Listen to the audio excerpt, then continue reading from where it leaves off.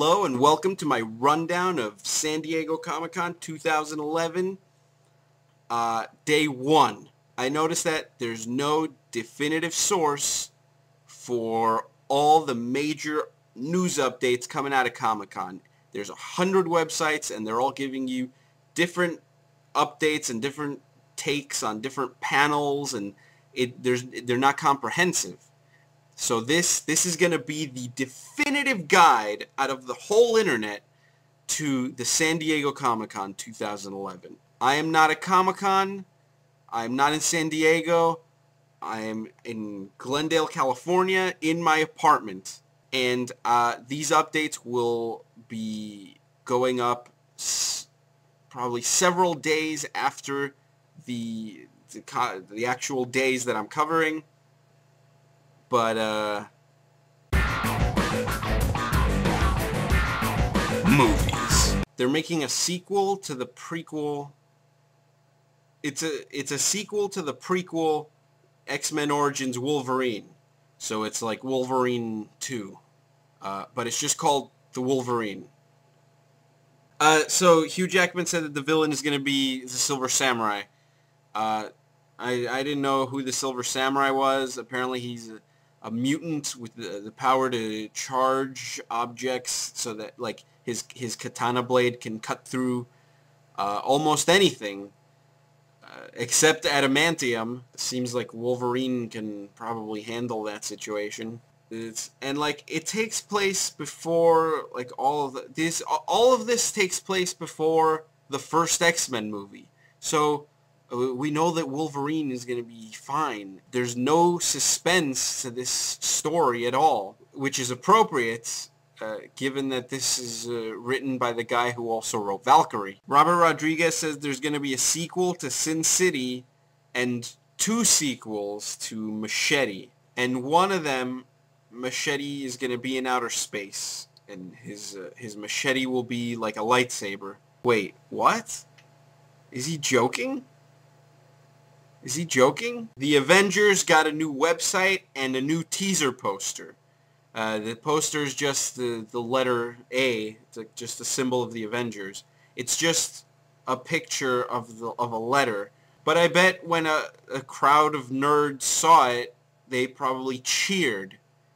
Because like nerds cheer at everything. Get a bunch of nerds together and show them something that they saw once in a comic book they will cheer the way people cheered for Martin Luther King. The release date for the new Superman movie was pushed from uh, December 2012 to June 2013. It's probably a good idea. Let Zack Snyder get an extra six months to come up with uh, some more cool slow motion scenes. TV. So there was a Beavis and Butthead panel because they're bringing it back. They made new episodes, and it lo- it looks the exact same. They they showed footage of it. That footage is online. You can see you can see some new footage of Beavis and Butthead. This is it is not news. I'm just telling you that this happened.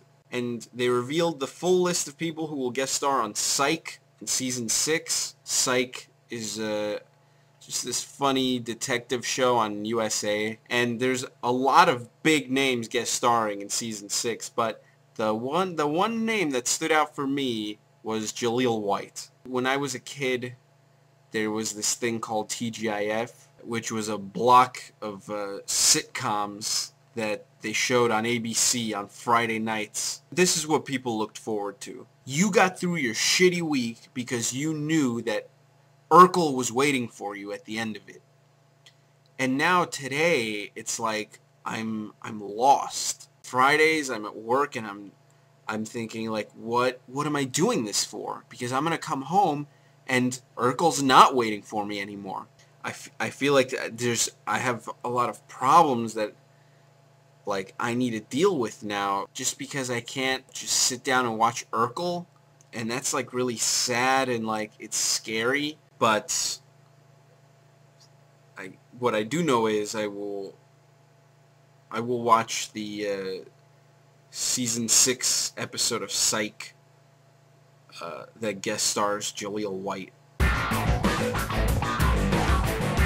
Video games. Um, there was a, they. I think there was a lot of panels about a lot of different video games. I don't really know what you know what was said or what happened. I I am not I am not at Comic Con. I'm just in my apartment. They did reveal that uh, Batman Arkham City will have Talia al Ghul and the Penguin, and they showed a trailer that showed uh, Batman fighting the Penguin. Uh, now people can't wait to play it because it looks really exciting. Everyone's really excited to play it. Toys. Yes, there was toy news at Comic-Con. Hasbro showed a bunch of uh, new Transformers toys, but like, who gives a shit? Lego is going to release a bunch of DC and Marvel playsets. Unfortunately, not a lot of kids are going to get to play with them because Legos are the most expensive thing in the world. Why are Legos so expensive? The, it's it's plastic bricks and the the thing you build doesn't look that good anyway. It looks like plastic bricks in the shape of the thing you just built. And the only the only thing you can reasonably afford is the little tiny sets that don't come with like any pieces. God help you if you want to buy like a Lego house. You're going to have to take out a fucking mortgage on it. And there was one more category. What was it? Oh yeah, Comic books. The well, the one big thing that uh, DC Comics has done this year is they're going to reboot all their comic books. Every comic book they have is going to start over at issue number one. Uh, comic book fans don't really like this idea because it's just confusing and pointless and it's a stunt that prevents them from celebrating their real milestones. And eventually it's just going to go back to the old numbering system and everything will be all fucked up. But but the guys who work at DC, uh, they think it's going to be an exciting thing to attract new comic book readers. Because if you don't read comic books and you hear from, I don't know where the fuck you would hear this, but you hear all the new, all the DC comic books are going back to number one, are you going to start collecting comic books? Is that what was uh, preventing you from collecting comic books before? That there was a high number on the cover? They're the same books, but they're taking this opportunity to kind of uh, streamline certain titles and make them more accessible and just kind of do fresh new things with them. So some of the things that were revealed, Grant Morrison says he has a 16-issue run plan for Action Comics and that it will be better than All-Star Superman, which doesn't make any sense because All-Star Superman was like the best comic book series ever. So I don't see how he could make a new one that's better than All-Star Superman. Maybe he was mistaken. Is it possible that Grant Morrison would be fallible? This this just doesn't this doesn't add up. Superman has a new costume and people don't like it. I mean, there's a long history of people fucking with Superman's costume. Every time a new creator comes on, so you know, occasionally they'll they'll make a little or big change. And uh, what always happens is eventually Superman's costume always changes back to how it's supposed to be.